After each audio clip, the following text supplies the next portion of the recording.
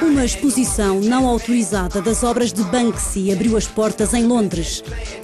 O ex-agente do célebre artista anónimo decidiu pintar a galeria Sotheby's num estilo graffiti, mas não tem a certeza de que a iniciativa agrada ao próprio Banksy.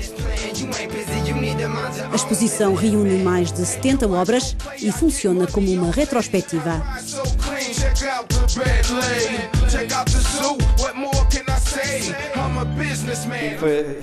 É provavelmente a última coisa que ele queria ver. É uma exposição não autorizada. Ele não tem nada a ver com o evento, exceto o facto de ter sido ele a fazer as pinturas. Penso que é interessante reunir todas as obras.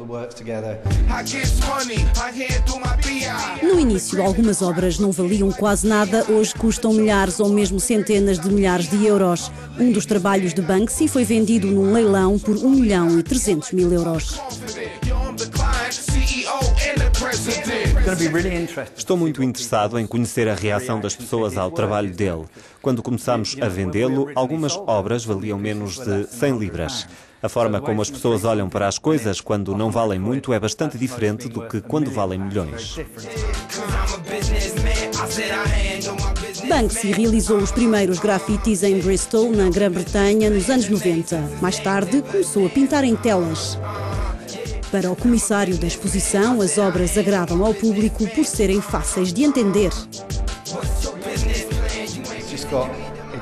São genuinamente acessíveis e isso apela às pessoas.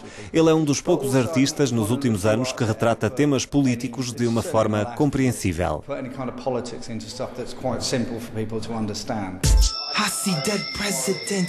A retrospectiva não oficial da obra de Banksy pode ser visitada em Londres, na Galeria Sotheby's, até 25 de julho. I'm making a toast to those that's on a 9 to 5 or getting a grind on. Ride to this if you got your nose on a grindstone. Yeah, cause I'm a businessman.